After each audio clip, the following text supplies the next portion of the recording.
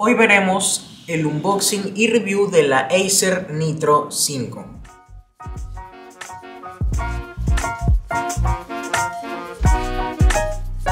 Hola chicos, soy Noah Guardia de Ponte Geek y hoy les estaré presentándoles el unboxing de esta máquina que nos mandaron los amigos de Acer. Cabe destacar el arte visual que tiene la caja en, su parte frontal, que parece como unos, unas especies de robots peleando en un mundo post-apocalíptico, diría yo, y me parece que es un muy buen diseño. Bien, empecemos con esto. La guía de uso rápido y la guía de configuración. También tenemos lo que son stickers que venían en la caja. Tenemos otra caja aquí. Veamos lo que tiene dentro. Aquí dentro tenemos lo que son este, los cables de carga y electricidad para la máquina.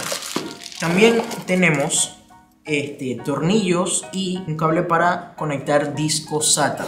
Ahora procederemos a sacar por fin lo que estábamos esperando, la máquina un poco difícil de sacar, pero esto es muy bueno ya que a la hora de empacarse, esto asegura de que no se mueva ni sufra de ningún tipo de daño en el envío. Como dije antes, está bien ajustada. Y aquí la tenemos, la Acer Nitro 5. A los lados podemos ver dos conectores USB tipo A, un conector para el cable de internet, cable de red. Tenemos también eh, huecos, salidas donde sale el aire de los ventiladores un hueco para poner el cable de seguridad, un espacio para colocar los audífonos jack 3.5. Del otro lado tenemos lo que es un cable HDMI, otro puerto USB tipo A y un puerto USB tipo C. También vemos los, la salida de los aspersores, los ventiladores. En la parte de arriba podemos ver lo que son las letras de la marca Acer, muy bonito color mate. Y en la parte de abajo, más salidas de los ventiladores. Abriéndola podemos notar, tiene un acabado como de color rojo. También podemos, al iniciarla, ver que tiene las teclas con un rojo predeterminado. Sin embargo, si no te gusta el color rojo, eso se puede modificar. Hablemos de videojuegos ahora. Esta máquina por default es una muy buena opción de compra, ya que lo hemos probado con uno de los juegos con más exigencias en el mercado ahorita mismo, cual sería Call of Duty Warzone. Aunque sí se notaban un cierto bajón de FPS a la hora de jugar Warzone con este, el cable de, de electricidad desconectado. Pero esto no dañaba la experiencia de juego como tal, sin embargo podría ser un poco molesto a la hora de jugar. También lo probamos con el juego Apex Legends y Halo Infinite. Con estos dos últimos no hubo ningún tipo de problema como tal, ni siquiera desconectado, conectado, no hubo ningún problema.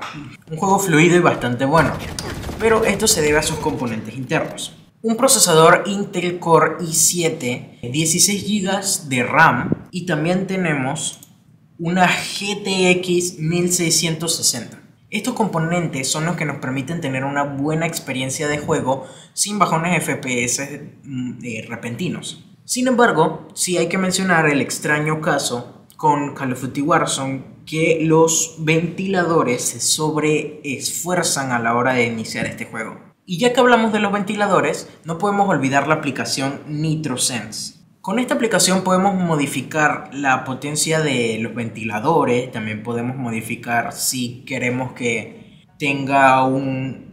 También podemos modificar el plan de energía, si queremos un equilibrio entre ventiladores y el plan de energía, si queremos que los ventiladores estén a su máxima potencia, si queremos que tenga la nueva mecánica conocida como Cool Boost, que hace que aumente la velocidad máxima del ventilador acelerándola durante el uso intensivo.